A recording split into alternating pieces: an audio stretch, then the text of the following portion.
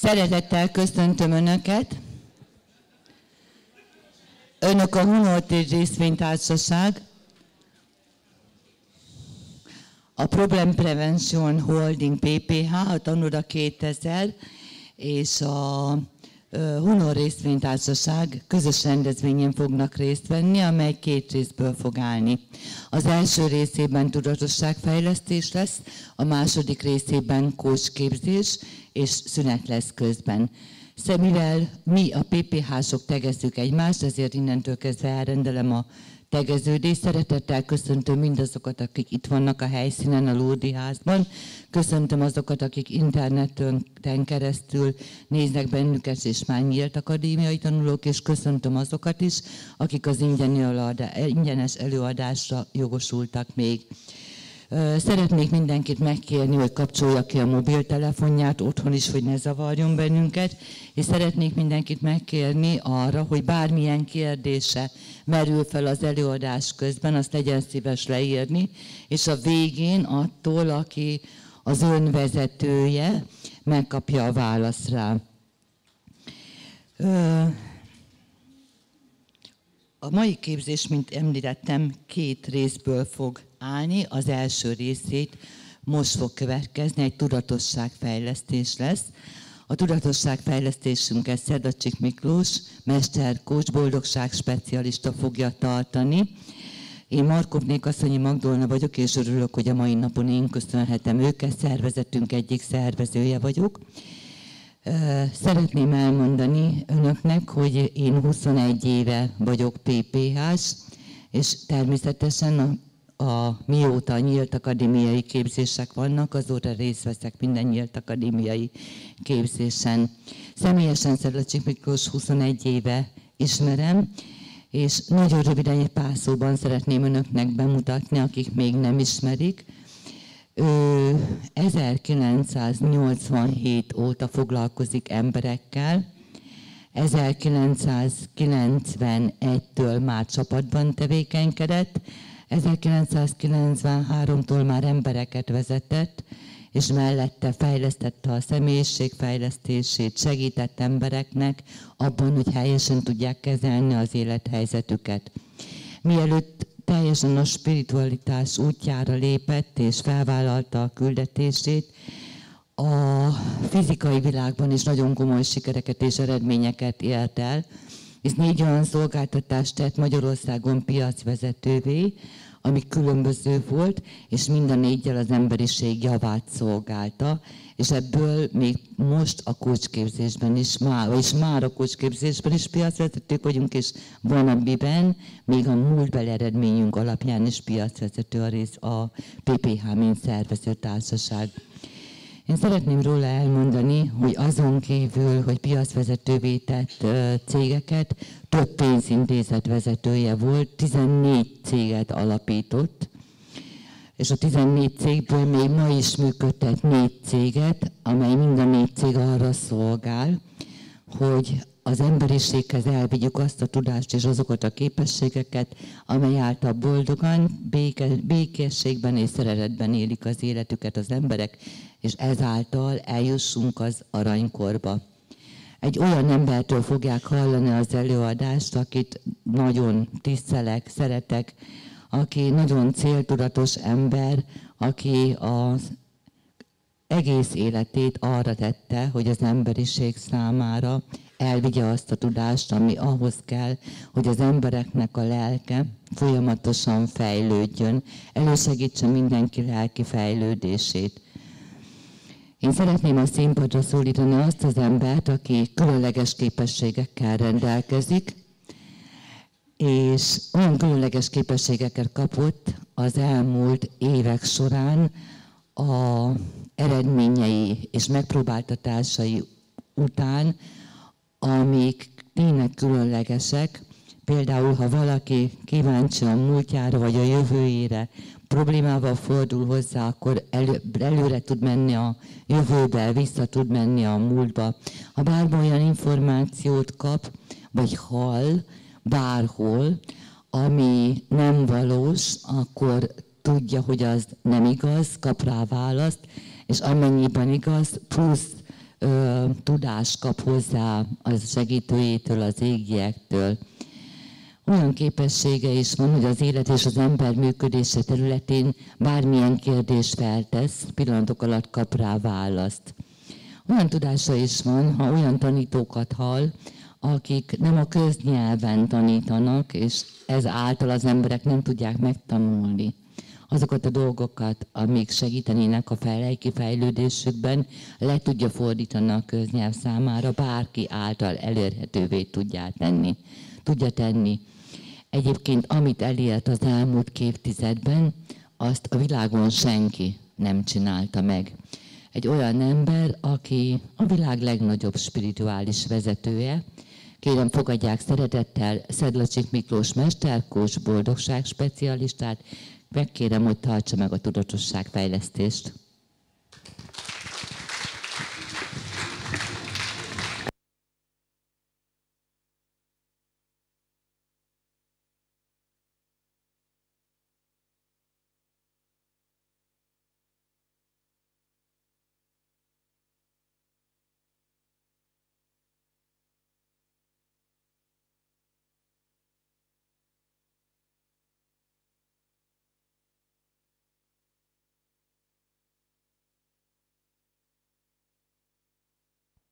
Nagyon sok szeretettel köszöntelek benneteket.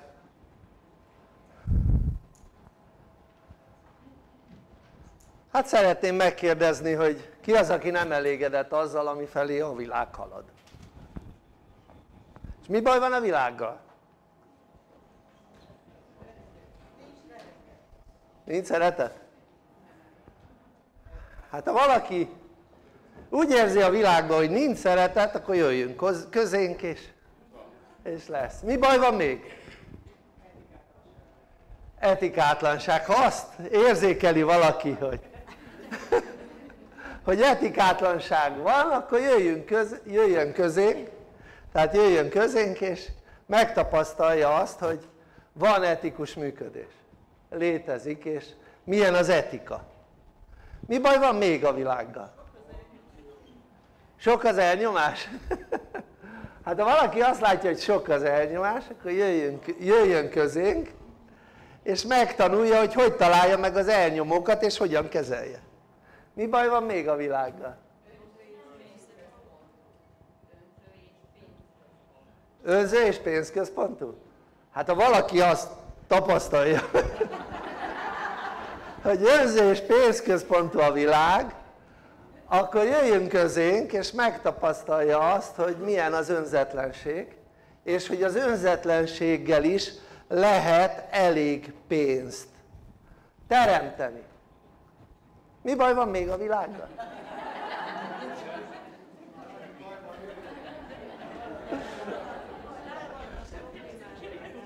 tele vannak problémával az emberek? hát ha úgy érzi valaki hogy tele van problémával akkor jöjjön közénk és megtanulja azt hogy hogyan kezelje a problémáit, hogyan oldja meg a problémáit és hogyan előzze meg a problémáit mi baj van még a világban?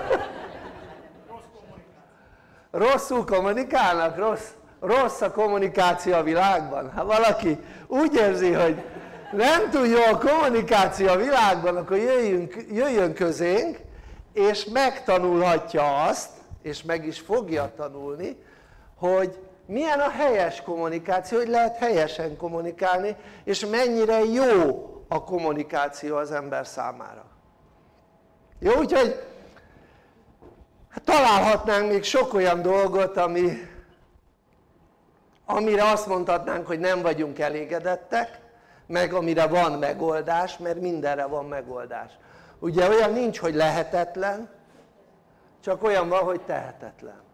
Olyan nincs hogy valamit nem tud az ember megoldani csak olyan van hogy nincs hozzá elég tudása vagy talán egyáltalán nincs tudása arra a területre. És gondold végig hogy mi várható ha abba az irányba halad tovább a világ ami felé halad hogy hogy igazából az embereknek egyre több gondjuk, problémájuk van, egyre rosszabb a kommunikáció, egyre több az elnyomás, stb. stb. mivé fog ez fajulni?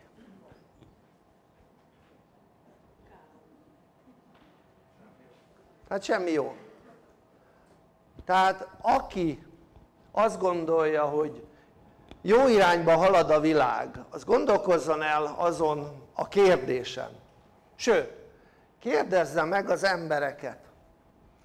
Főleg a, azokat, azt a, azokat a korosztályú embereket akik mondjuk hát legalább 40 év fölöttiek.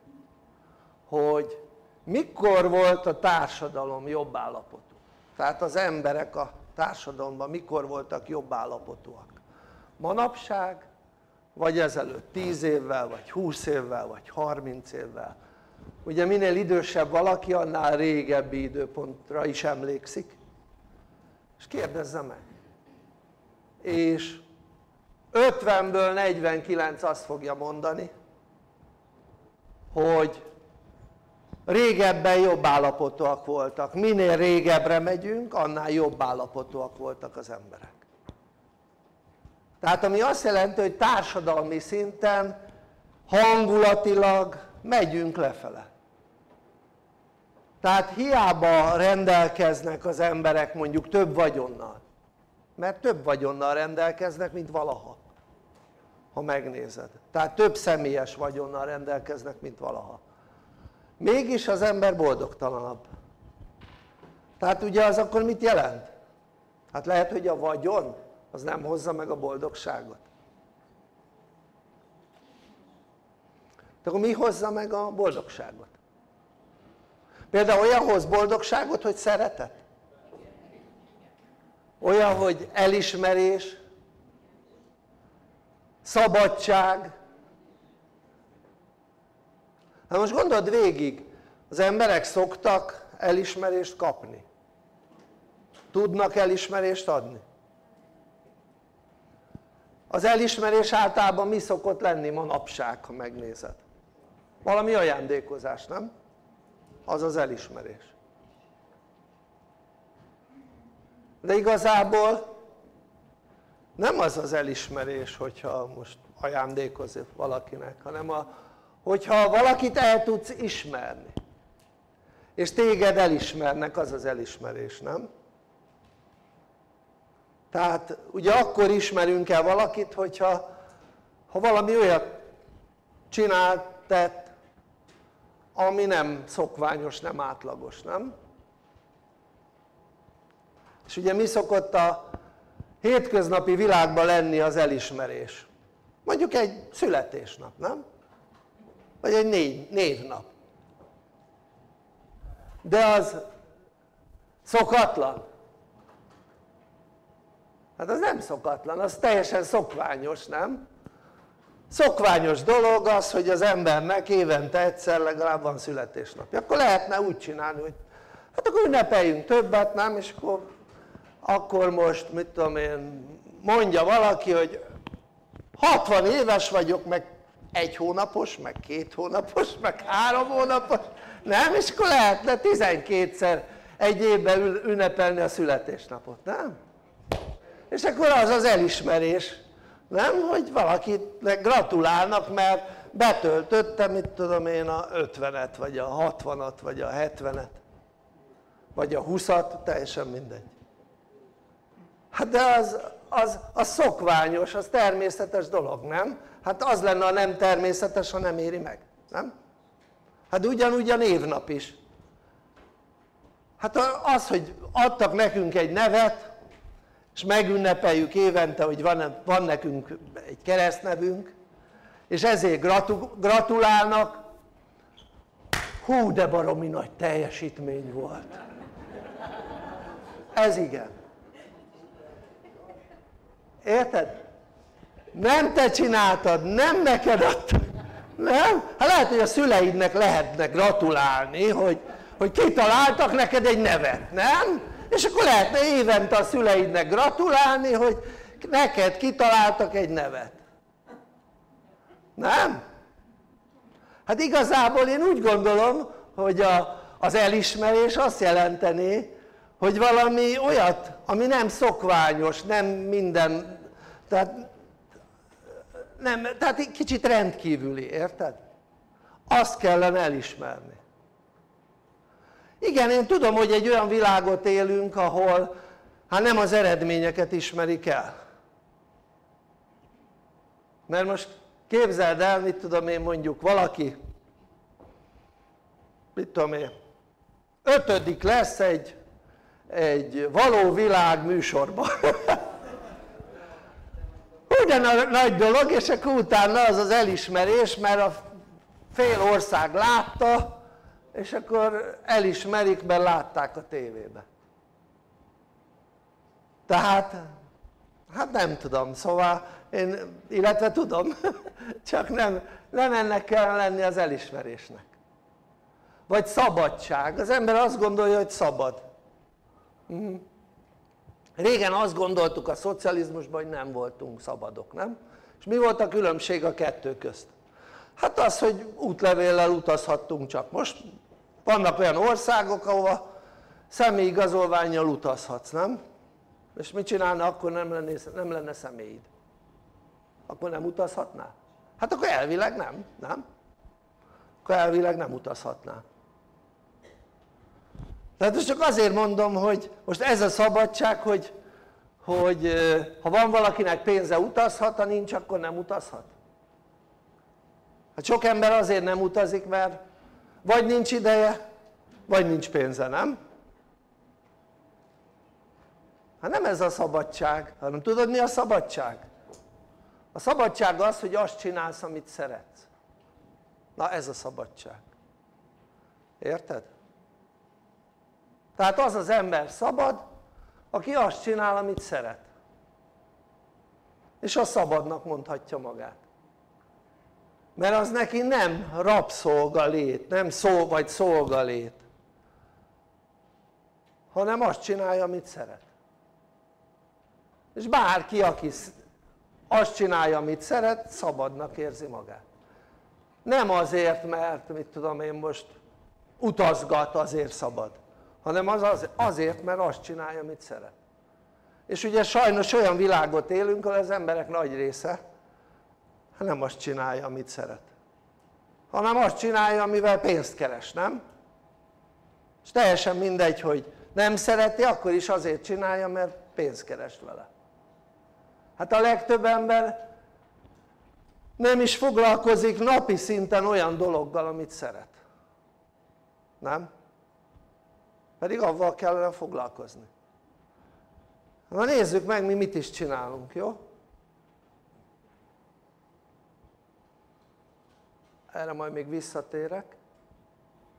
Az embereknek eljutatjuk azt a tudást és gyakorlási lehetőséget amelyek által olyan élet és emberismerethez jutnak hogy képessé váljanak az élethelyzeteik helyes kezelésére a problémáik megoldására illetve megelőzésére a célok elérésére az emberek és az élet jobbítására a lelki fejlődésre na nézzük meg miért is csináljuk mert hiába tudsz hiába tűzölt ki egy célt.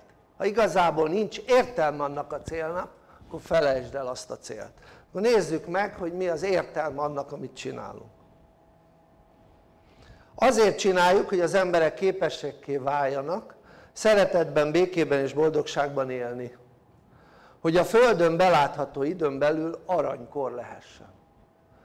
Nagyon érdekes mert ha a legtöbb embert megkérdeznéd hogy mit értesz azon hogy boldogság most nem PPH-sokról van szó hanem átlagember megkérdeznéd hogy mit értünk azon hogy boldogság meg tudnák igazából fogalmazni?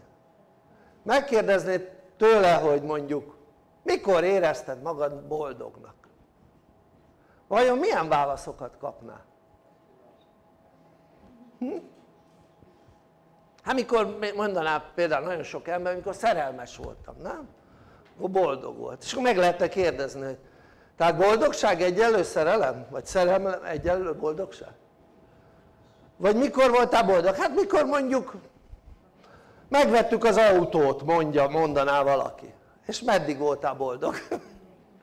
attól vagy mikor fölépült a házunk ah, és utána meddig voltál boldog attól az érzés tehát az az érzés meddig volt fenn, meddig állt fenn vagy mikor összeházasodtam a párommal vagy mikor megismerkedtem a párommal valószínűleg ilyen válaszokat kapnál, nem? és akkor mindenütt meg lehetne kérdezni és meddig voltál boldog nem? meddig? hát ugye ez viszonylag rövid idő tehát ugye a boldogsághoz az kell hogy legyen szeretet milyen szeretet? ma milyen szeretetekről beszélünk? ilyen érdek szeretetekről beszélünk mit jelent az hogy érdek szeretet? az azt jelenti hogy emberek megpróbálják megvásárolni a szeretetet például a gyerek szeretetét meg akarja vásárolni ajándékokkal azt gondolja hogy ez a természetes hogy hogyha szeretek valakit akkor ajándékozok neki hm, és mi van a kimutatással? Hm? tehát mi van a szeretet kimutatásával?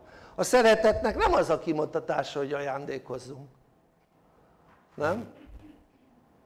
tehát vajon mi, mi lehet a szeretet kimutatása? na hadd halljam na mondjátok, kiabáljatok be ölelés például. Hangosabban hogy halljam kedvesség simogatás bókolás, elismerés, ilyenek. Tovább. Odafigyelés, törődés a másikkal. Így van. Puszilgatás, így van. Így van. Mond, nyugodtan, ne legyetek szívbajosak oké? Okay? mondjátok mit jelent a szeretet? jó szó, szép szó, így van dicséret, így van bíztatás gondoskodás, így van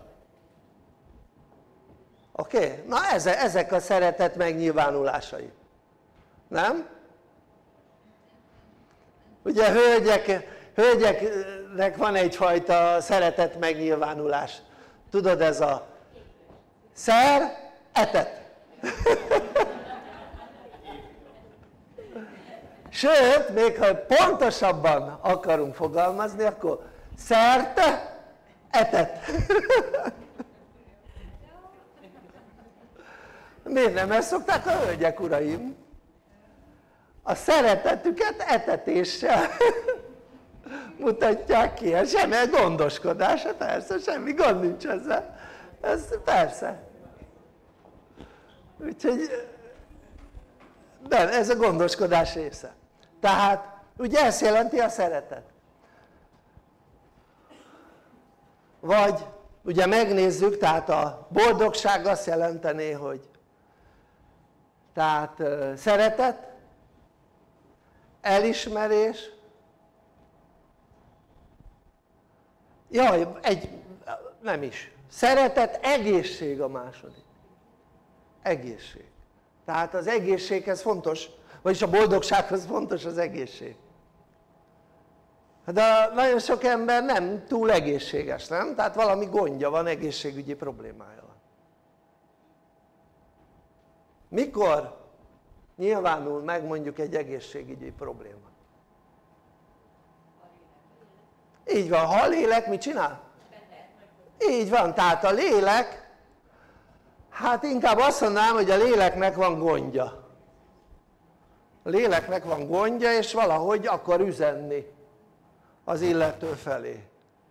És az illető nem hallja a súgást ezért a lélek megbetegíti a testet. Tehát fontos lenne hogy a, az ember egészséges legyen tehát hogy ne betegítse meg a testünket a lelkünk fontos lenne hogy hallgassunk a saját lelkünkre. De az ember szívesebben hallgat a tévére, nem?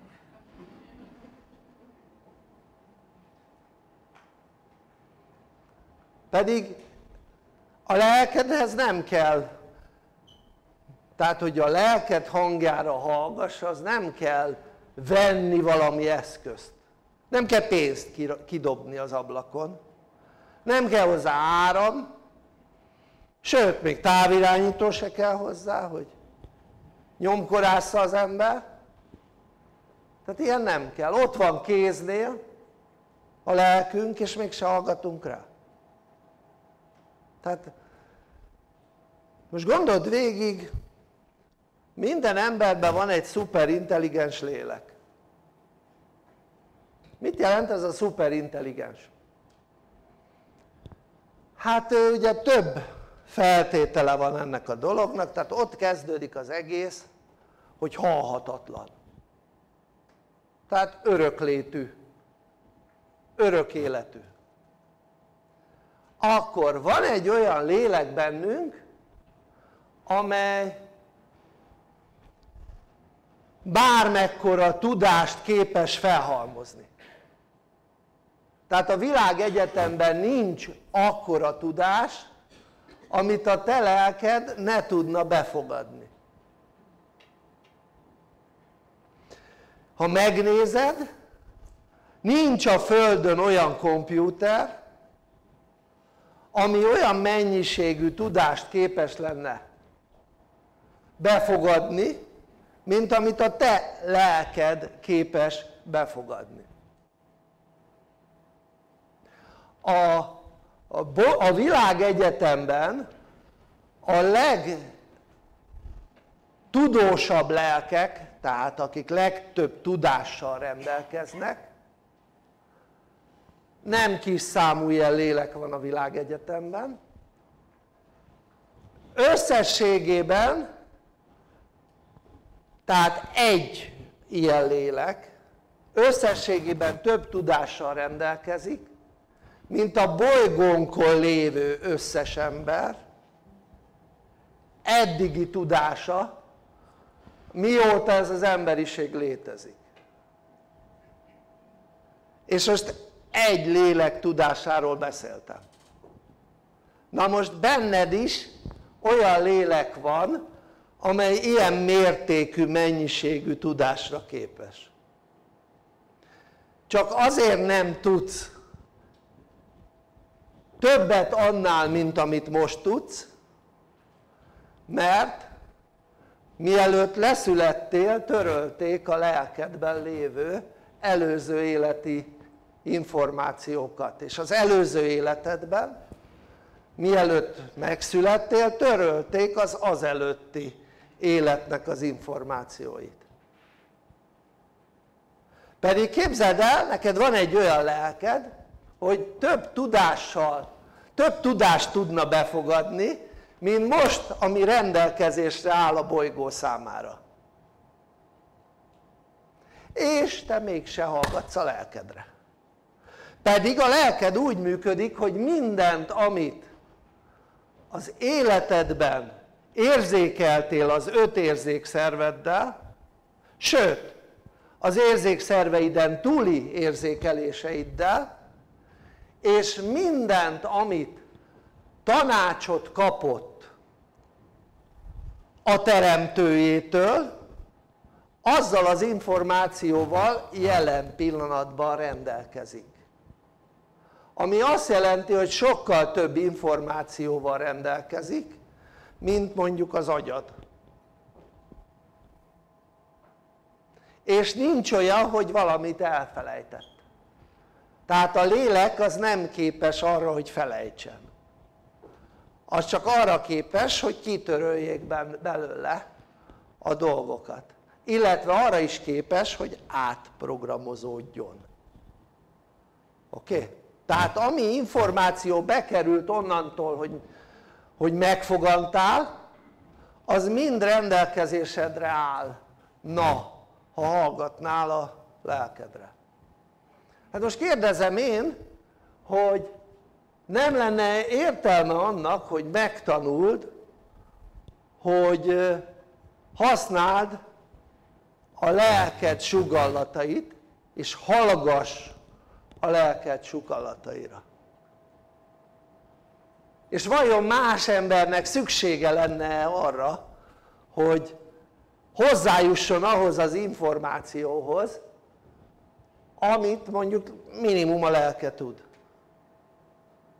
Tehát minden ami történt veled az élet, életedben az ott van a lelkedben. Minden ami segítséget kaptál de nem hallgattál a lelkedre ott van a lelkedben. Tehát sokkal nagyobb tudáskészlet van jelenleg is a lelkedben mint amit tudsz használni amit az agyaddal tanultál.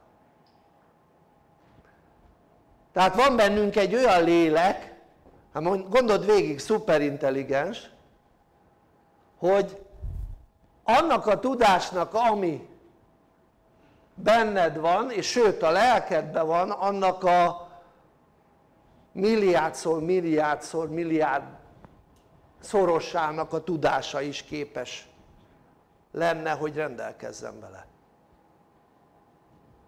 nem elég szuperintelligens lelked van? gondold végig.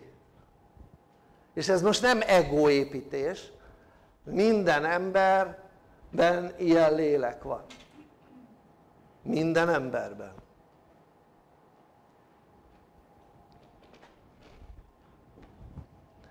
No most ha megnézzük ugye belátható időn belül aranykor ugye az aranykor azt a célt szolgálná hogy az ember megint lapozzunk egy kicsit majd visszatérek egy lelki fejlődésem keresztül menjen. Ez a lelki fejlődés a hetedik szint a beteljesülés szintje. Tehát az aranykor azt a célt szolgálná hogy az emberek eljussanak a beteljesülés szintjére. Mondom az aranykor szolgálja ezt a célt.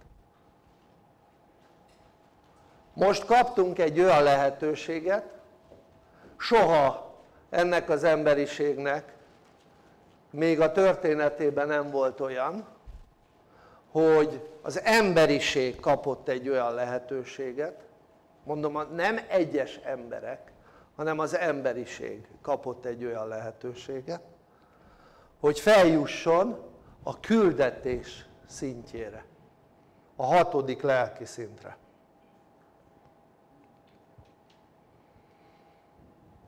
A hatodik lelki szint egy ajtó a tovább lépéshez a hatodik lelki szintet kell az embereknek elérni ahhoz hogy bekerülhessenek az aranykorba.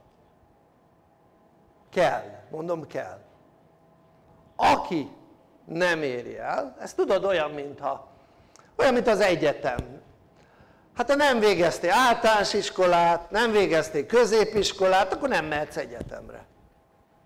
Nem az a lényeg hogy mikorra végezted el mert vannak olyan nagyon okos kisgyerekek akik már 12 vagy 10 éves korra már mehetnek egyetemre mert olyan képességekkel rendelkeznek. Jó ez nem sok ilyen van de vannak ilyenek. Tehát nem az a lényeg tehát nem mehetsz egyetemre hogyha nem jártad végig az iskolákat és nem tetted le a vizsgáidat.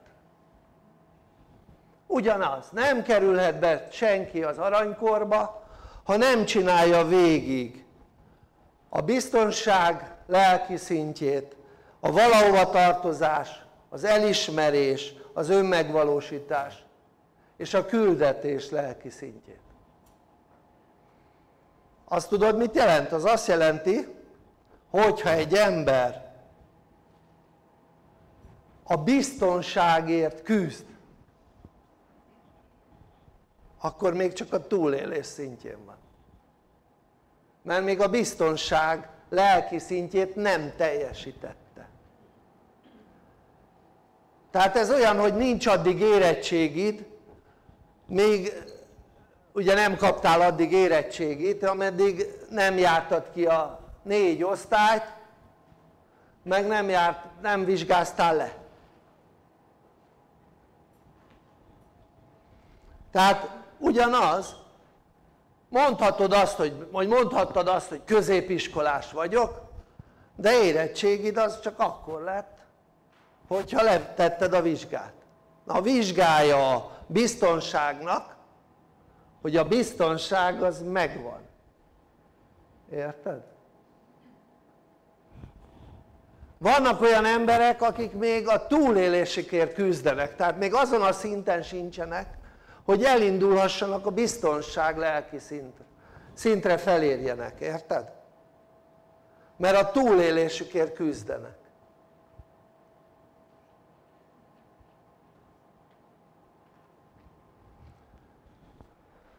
tehát akkor van meg a második lelki szint is hogyha megvan a biztonság és ugye harmadik lelki szint az a valahova tartozás. És nem véletlen hogy ott van egy a kettő közt a kettes hármas között van egy ilyen szaggatott vonal.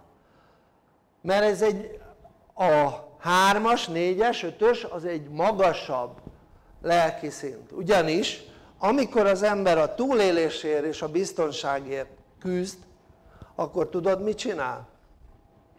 bele van ragadva az anyagba tehát a céljaik közt nincs más csak anyag. Anyag. Tehát ahol a célok kizárólag anyagi természetűek és ugye az egyik legfontosabb hogy minél több pénzem legyen mert az oldja meg az életemet. Így gondolkodik az aki az egyes, kettes lelki szinten küzdködik ezen a szinten a teremtés az akármilyen hihetetlen az nulla. Szó szerint. Most mégis azt mondanád hogy hát de nem így van mert hát sok olyan emberrel találkozhattál aki mit tudom én kettes szinten volt nem is egyes mert ugye kettes. És lett is pénze. És sőt sok pénze lett. Igen ám de megnézed.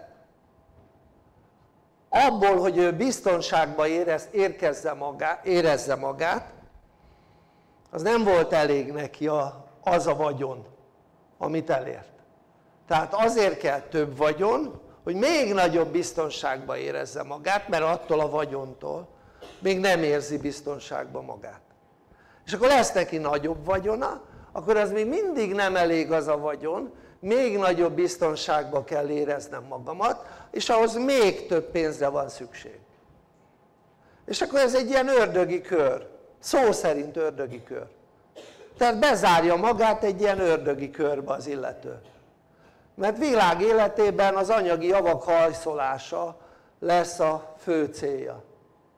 És nem tud kikerülni a kettes lelki szintből. Tehát a túlélésen talán túl van de még azon sem nagyon mert lehet hogy testőrrel vesz, veszi körül magát. Mert fél hogy mit tudom én mi lesz. Tehát még lehet hogy az egyesen sincs túl tehát az embernek el kellene jutni egy valahova tartozás szintjére.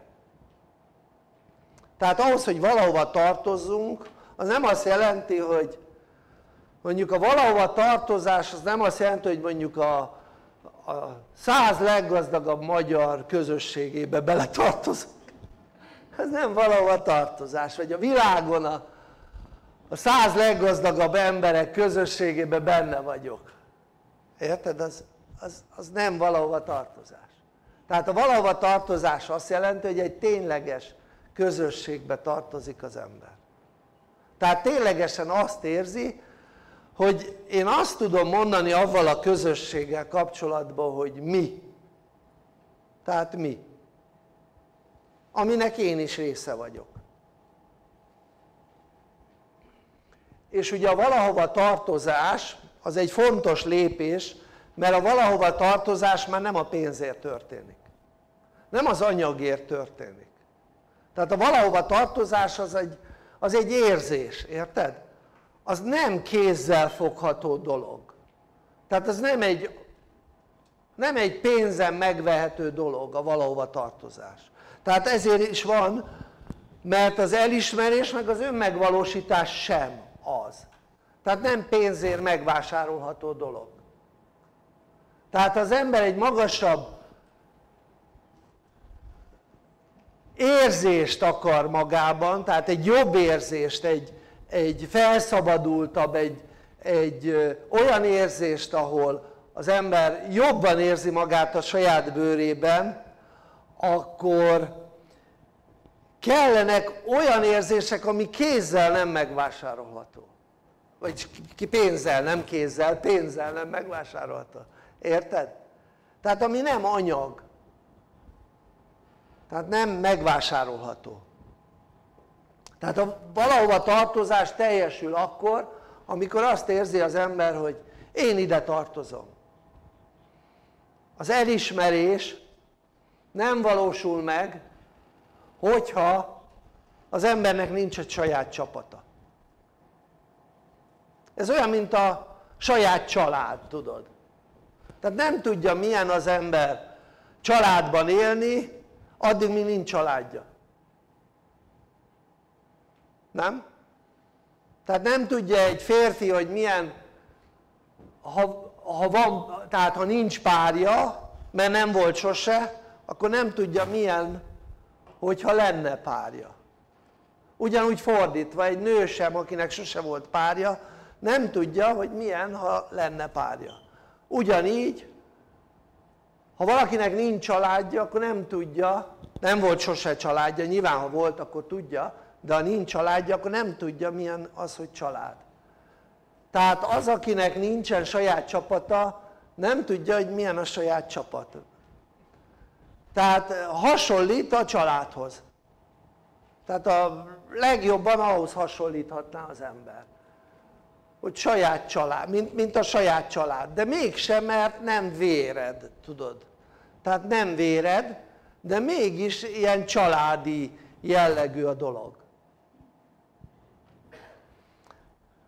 Hát hogyha el akarod érni a negyedik lelki szintet, mert hát ugye föl kellene küzdeni az embernek magát a küldetés szintjére, ha el akarod érni a negyedik lelki szintet, az elismerést, akkor kell saját csapat. De hát ugye nekem volt saját csapatom, az első saját csapatom elkezdett kialakulni 91-ben. Aztán annak a következménye egészen ugye begyűrűzött 2000-ig. Tehát ami azt jelenti, hogy olyan csapat, ami az én csapatom volt, de, de nem egy olyan csapat, ami, amit egy kicsit ne a pénzt tartott volna össze. Érted? Ott, ott az a csapat, azoknak a nagy része azért volt ott, mert a pénz miatt voltak ott és ugye ez volt egy következő csapat is ami egészen 2007-ig volt. És 2007-ig is elsősorban a pénz tartotta össze azt a csapatot. És ugye lehetett is látni hogyha pénzzel kapcsolatosan voltak gondok akkor az emberek ki is maradtak. Nem mindenki de akiket a pénz tartott egyben. És hát ugye az olyan jellegű csapat ahol már nem a pénzről szólt a dolog az elsősorban 2010-től kezdett el kialakulni. Tehát 2010-től tehát ugye 2010-től elkezdtük létrehozni az olyan közösséget ahol az emberek fejlődéséről szól a dolog. Tehát szó szerint az emberek fejlődéséről. És úgy lett kialakítva hogy a nagy közösségben lehessen mindenkinek saját csapata. Tehát hogy ezt a saját csapat érzést létre tudja hozni. Ugye a saját csapatnál ha valaki eredményes akkor el tudja ismerni. A saját csapatból tud az ember elismerést kapni ha ő ért el az ember saját maga kiemelkedő eredményt. Tehát az elismerés lelki szintjéhez kell egy saját csapat. Tehát én tudom hogy jó dolog a túlélés meg a anyagi biztonságba tudni az életedet. De hagyd mondjam elevel kapcsolatban hogy a biztonság az mindenki számára nem kívülről fakad hanem mindig belülről. Tehát egy ember ha úgy gondolja hogy ő biztonságban van akkor ő biztonságban van és ez nem pénzkérdés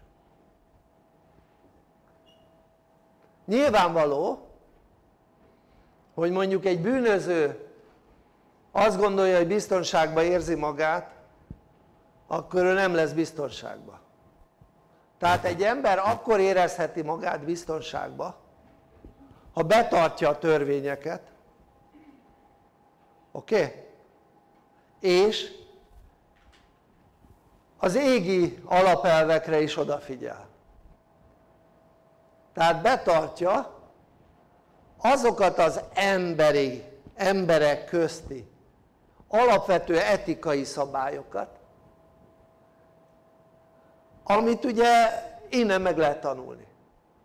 Amit általában az emberek nem tudnak. Na most ha az ember ezekre figyel hogy betartsa a törvényeket és az emberekkel kapcsolatos alapelveket akkor mondhatja az ember minden további nélkül hogy én biztonságban vagyok és te is mondhatod magadról hogy te biztonságban vagy érted? tehát a biztonság az nem pénzkérdés hanem a biztonság az etika kérdés és hát a törvények betartása kérdés de hát a törvények betartása is az etika körébe tartozik jó? tehát akkor mondhatjuk azt hogy etika kérdés tehát ha ahhoz hogy az ember biztonságban legyen akkor mit kell csinálnia? hát be kell tartani a törvényeket és be kell tartani az emberekkel kapcsolatos etikai szabályokat világos ez?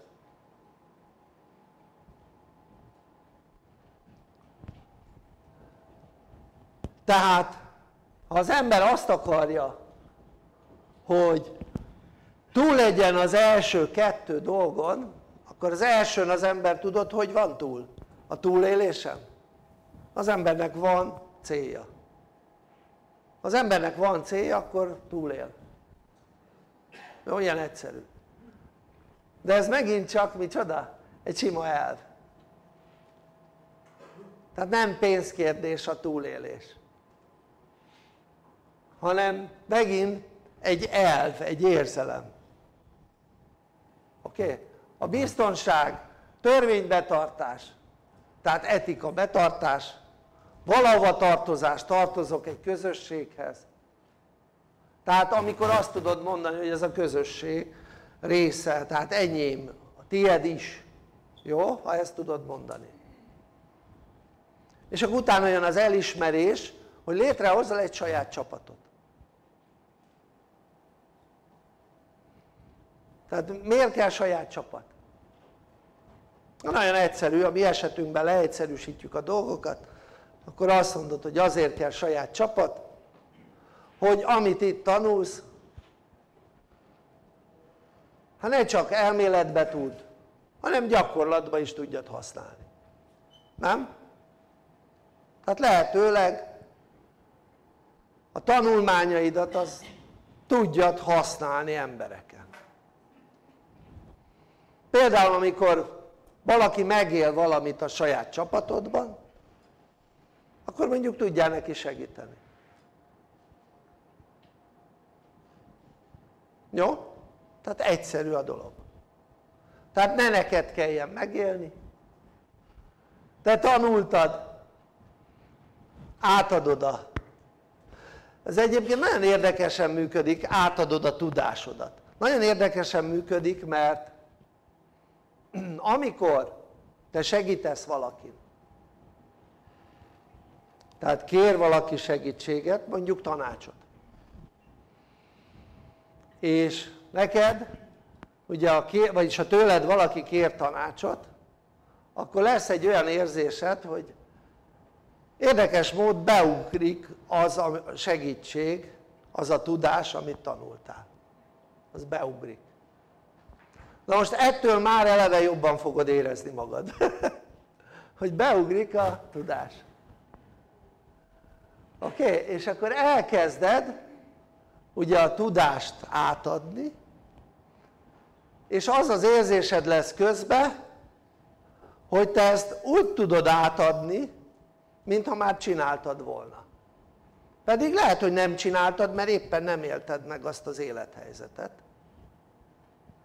de tudod miért tudod ezt csinálni? tehát miért érzed azt hogy olyan mintha tehát nem mintha tanultad volna hanem mintha tudnád, érted? tehát nem az az érzés mikor átadod a tudást nem az az érzés lesz benned hogy tanultad hanem az az érzés hogy tudod és tudod miért? mert van benne egy-egy lélek amely tudja amit tud és olyankor mikor az embereknek segítesz akkor följössz hangulatba és lélekvezérelté válsz érthető ez? Tehát onnantól kezdve az nem az agyad érted? nem a tested az amelyik segít hanem akkor az a lelked és egyszerűen átadod a tudást úgy hogy egyszerűen tudod hogy azt úgy kell csinálni mert lélekvezérelt vagy és amikor lezajlott ez a kommunikáció közted és a segítséget kérő között akkor mind a ketten jobban érzitek magatokat ő is meg te is oké? Okay? ez azt jelenti hogy hogy egy olyan fajta működést tudsz a segítéssel elérni ha van csapatod ami téged is felhoz energetikailag meg azt a szemét is. Tehát nem úgy segítesz embereken hogy elveszel tőle energiát hanem adok-adok módon működik hogy adsz energiát és, és te is ugyanúgy kapsz energiát. Jó? tehát ami azt jelenti hogy egyre többet tudsz kapni és tudsz adni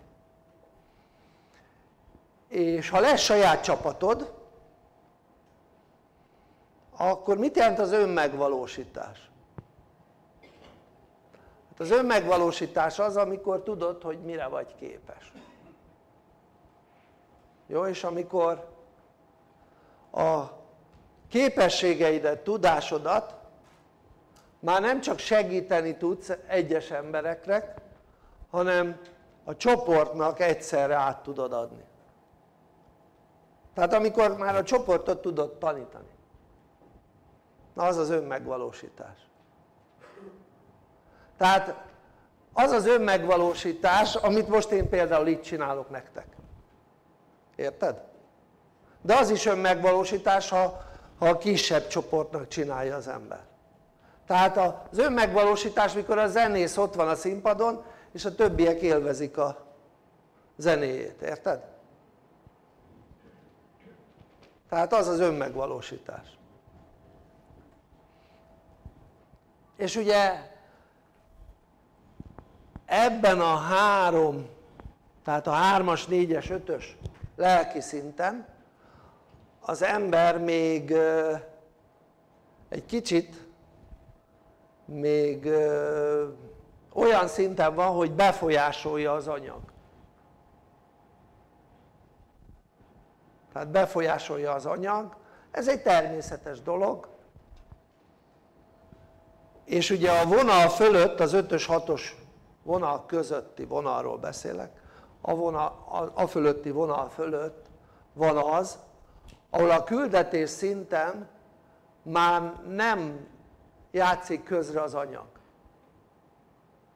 a küldetés az azt jelenti hogy mondjuk jelen esetben mondjuk az én esetemben a küldetés azt jelenti hogy az emberekért teszek. Tehát az emberekért csinálom, nem, tehát semmilyen más dolog ebben nincs benne.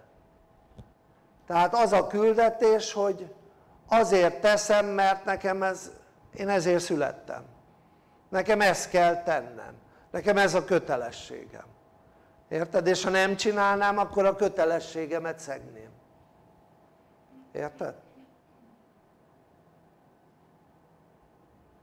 tehát nem azért hogy mondjuk önmagamat megvalósítsam hanem azért hogy, hogy az embereknek jobb legyen tehát nektek jobb legyen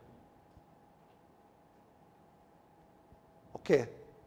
és akkor kerülhetünk be az aranykorba hogyha te képes leszel azért csinálni dolgot hogy, hogy az embereknek jobb legyen. És onnantól kezdve nem lesz gond az anyagiak szempontjából. Tehát azért, azért is nem is kell az anyagiakkal foglalkozni.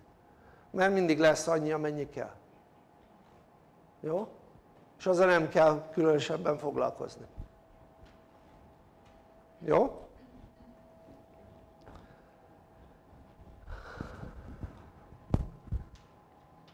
menjünk ide-vissza, azt mondtam visszamegyünk.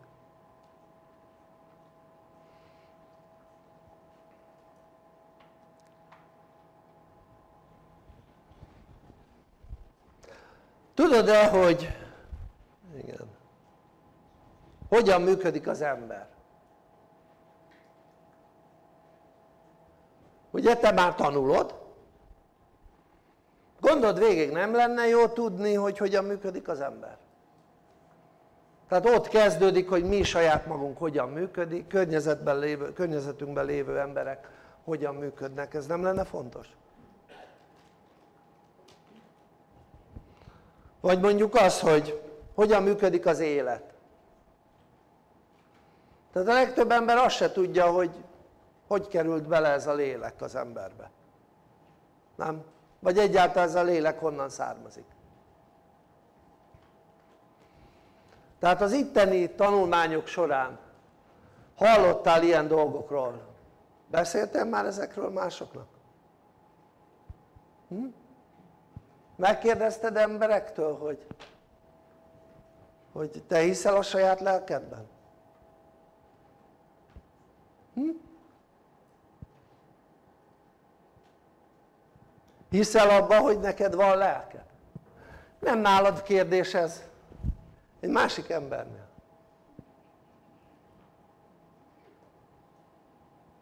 Hm? megkérdezted azt hogy hát miért nem úgy működünk mint az állatok? Miért vagyunk mi értelmesek? Miért tudunk gondolkodni? Az állat miért nem tud gondolkodni ugye bizonyára láttad azt hogy az állat csak idomíthat én most csak a kérdéseket mondom. Tehát az állat azért tud valamit mert beidomították. Azért házi állat a házi állat mert addig idomították míg nem háziasodott. Na most egyébként velünk emberekkel csinálják ezt nem tudom észleled hogy most, most háziasítanak minket tudod. Jó kis házi állatok legyünk de szó szerint így a vad, vad emberből legyen jó kis házi állat tehát miért nem teszel föl ilyen kérdéseket? feladatod lenne megnyitni az embereket érted? az azokat akik az emberek többsége az nem nem nyílt meg ami azt jelenti hogy nem nyitott a lelki dolgokra, a szellemi dolgokra gyakorold a megnyitást. Most mit veszíthetsz vele egy adott személynél nem jön össze?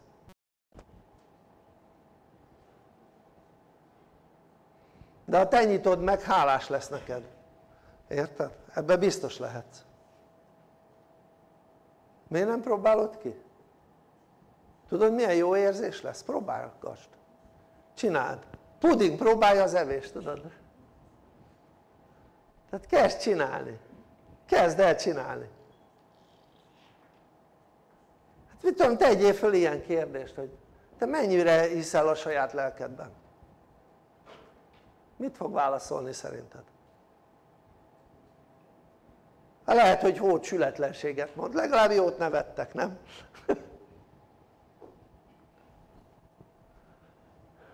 vagy, vagy az élettel kapcsolatosan hát tudja hogy honnan származik az élet?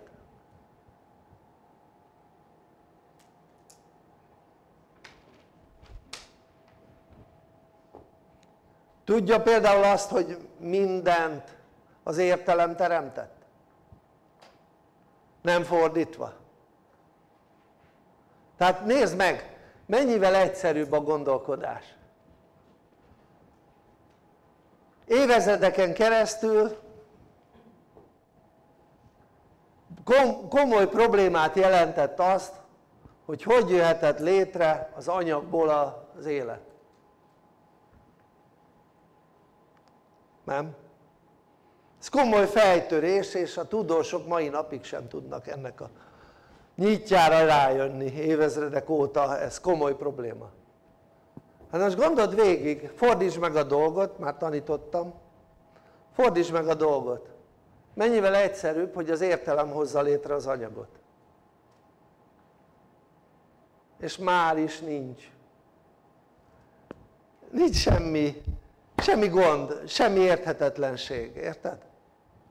az ég adta világon semmit, hát természetes dolog hogy az értelem létre tudja hozni az anyagot, tehát nézd meg az értelem mit tudom én mondjuk a faanyagból csinál bútort, csak most mondtam valamit, nem? Hát akkor miért ne lehetne olyan szinten az értelem, miért nem működhetne olyan szinten az értelem hogy az értelem létrehozza az anyagot tehát mit tudom én a vasat, a rezet, a stb. érted? tehát sokkal egyszerűbb a gondolkodás rögtön hogyha az értelem hozza létre az anyagot és az értelmet ki hozza létre? hát egy biztos hogy az értelem mindig is létezett. Na ez a különbség. Érted? és ugye van bennünk egy olyan lélek amely értelmes. Tehát értelmes. És emiatt vagyunk értelmesek. És mi emberek? Emiatt az értelmes lélek miatt vagyunk értelmesek. És maga az értelem az mindig is létező dolog volt a világegyetemben. És ez nem filozófikus kérdés hanem ez ténykérdés. És ahonnan elindult az értelem az volt az értelem kiinduló pontja. És ugye az értelem az nem teremtett. Ezt azért jó ha tudjuk. Tehát értelmet nem lehet teremteni. Az értelem vagy létezik vagy nem. Tehát egy emberben ott van az értelem. Tehát próbálj már egy állatba értelmet rakni. Hát nem fogsz tudni. Érted? Tehát ugye akkor hogy működik az értelem? hát az értelem ugye az osztódott. Osztódott. Tehát nem teremtődött hanem osztódott. Osztódásra szaporodott. Az azt jelenti hogy egy pontból osztódott. Te nem tudsz egy másik lelket létrehozni. Nem is fogsz tudni sose de volt olyan lény amelyik arra képes volt hogy megossza önmagát. Érted? és minden értelem ami lélekben lakozik mert az értelem csak egy dologban lakozik a lélekben.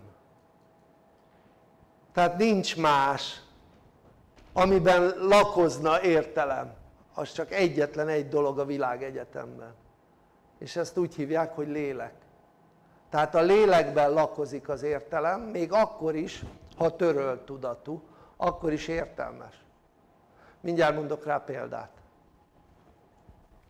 Jó és ez azt jelenti hogy itt vagyunk mi emberek és van bennünk egy olyan lélek amely eleve értelmes és az alapértelemből amit úgy hívnak hogy teremtő ősteremtő vagy atyaisten vagy mindegy abból származik a lelkünk. Ő osztódással létrehozta a benned lévő lelket. Meg a bennem lévő lelket meg mindnyájunkban lévő lelket ami azt jelenti hogy ha jobban megnézzük akkor lélek szempontból mi ikrek vagyunk oké? Okay? tehát mondhatjuk azt hogy testvér most akkor onnantól kezdve egy testvér ugye nem szabad hogy ellensége legyen egy másik testvérének, nem?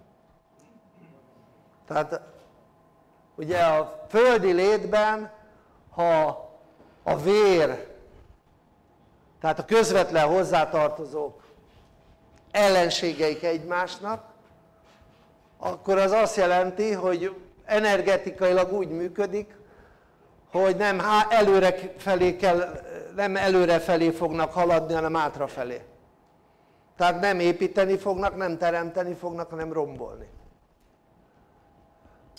na most ami azt jelenti hogy itt vannak a lelkek azonosak a lelkek. A bennünk lévő lélek azonos. Tehát mint az ikrek teljes egészében. És, és mi lelkek haragudhatunk egymásra?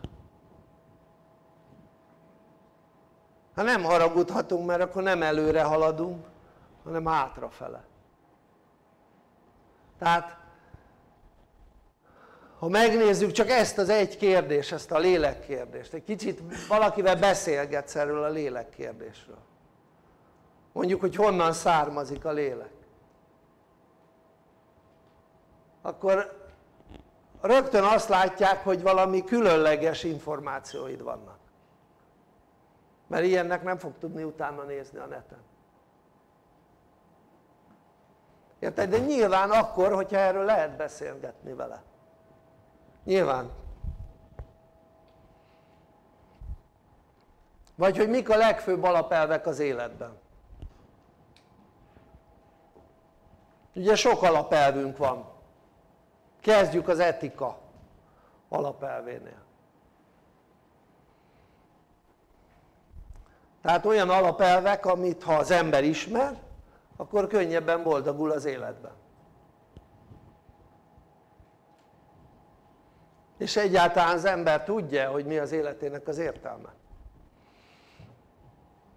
Nem véletlen ezek a kérdések. Olyan ott van egy i betű. Vesző helyett. Oda került egy i betű. Nem véletlenül vannak ezek a kérdések. Használd ezeket a kérdéseket. I betű nélkül jó? használd ezeket a kérdéseket. Nyisd meg embereket. Meg fogod látni hogy milyen jó érzéssel tölt el amikor megnyitsz valakit. Beszélgess emberekkel. Hát nyilván most ugye úgy tudsz emberekkel beszélni hogyha tehát több emberrel egyszerre hogyha mind valamennyien szinten nyitott. Ezért ugye először próbálkozz egy emberrel tehát egy emberre. Utána egy másikkal, egy harmadikkal. Jó és amikor már ezek könnyebben mennek akkor esetleg mit tudom én lehet találkoztok emberekkel valahol és akkor ott beszélsz egy csapattal. Nyilván nem az egésszel hanem a csapatból mondjuk egy három-négy emberrel egyszerre. Tehát nézd meg hogy milyen nézettségük vannak az élet vagy az ember működésével kapcsolatos dolgoknak az interneten. Tehát embereket érdekel ez a téma. Még akkor is ha azt gondolnád hogy nem érdekli őket, ez tévedés. Érdekli őket, csak csináld jól. Jó? tehát csináld jól. Hogy állunk az idővel? túlmentem rajta. No, jó, tehát. Akkor jó, hát ha a kérdésed merült volna fel nyilván most ezt az újaknak mondom akik most interneten néznek engem. Kérdésed merült volna fel akkor beszéld meg a meghívóddal illetve a, aki regisztrált téged. Vagy beszéld meg a vezetőddel vagy ha nem tudod melyik a meghívód vagy ki a meghívód vagy a vezetőd akkor hív fel az irodát és akkor elmondjuk hogy kihez fordulj. Köszönöm szépen a figyelmeteket. Mindenkinek jó tanulást kívánok még a mai napra is természetesen mert még ugye folytatjuk. Emberi bánásmód kócsképzésünk van a szünet után. Köszönöm szépen a figyelmeteket. További szép napot jó tanulást sziasztok 감사합니다.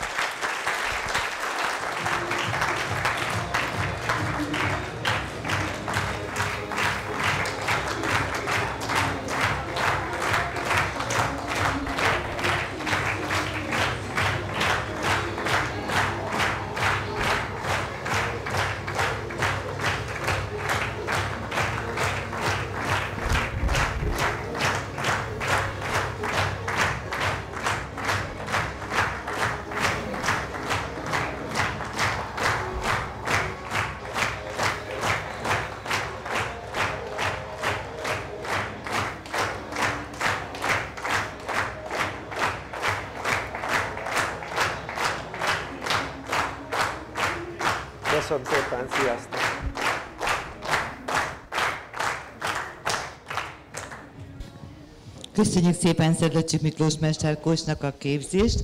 Nagyon röviden magamról, civil foglalkozáson vállalkozó feleség vagyok, túlkevéről érkeztem, férjezett vagyok, és miért kezdtem a Nyílt Akadémiánál a tanulást, mivel már előtte ismertem Szedlacsik Miklóst, a Nyílt Akadémia létrejött előtt tíz évvel, így egyértelmű volt, hogy nincs más választásom ahhoz, hogy a küldetésem teljesítsem, és javaslom mindenkinek, hisz ez az egyetlen egy hely, ahol az ember a spirituális fejlődését el tudja érni, hisz minden meg van hozzá szervezve. Ez az egyetlen egy hely, ahol az ember a saját lelki fejlődését el tudja érni. És nyilván ezen belül csodálatos csapathoz tartozunk, szeretjük egymást, egy szeretett közösség, az itt kialakuló párkapcsolatok könnyen létrejönnek, hisz mindenki hasonlóan gondolkodik. Csak olyan emberek vannak köztünk, akik szeretnének tenni az emberiséget azért, hogy boldogabban éljünk. És aki ide jön közénk, az mindenki nagyon jól érzi magát, és mindenki tudja, hogy a legjobb helyre érkezett meg, hisz Edlacsik Miklós a világ legnagyobb spirituális tanítója, és ő az egyetlen, aki megalkotott mindent ahhoz, hogy létre tudjuk hozni az aranykot. Úgyhogy aki néz bennünket, én azt kívánom neki, hogy bátra jöjjön közénk, hívja tényleg a vezetőjét vagy az irodát, és ne várjon sokat, mert minél tovább húzza a döntését, anyagilag az egyik egy nagyon kedvező lehetőséget kap, a vezetőjétől, a második pedig az, hogy sokkal később elindulni sokkal nehezebb lesz. És jöjjön bátran közénk, mi szeretettel várjuk. Ezután a képzés után szünet lesz, majd a szünet után emberi mánásmód képzés lesz, és az emberi bánásmód kocsképzés után ezután klub lesz, ez a klub lesz, ami azt jelenti, hogy nagyon nagy megtiszteltetés és személyesen Szedlacsik Miklósnak lehet kérdéseket föltenni, és már ezért is érdemes személyesen részt venni a rendezvényeket. Akkor köszönöm szépen, és 20 perc szünet után folytatjuk a második you.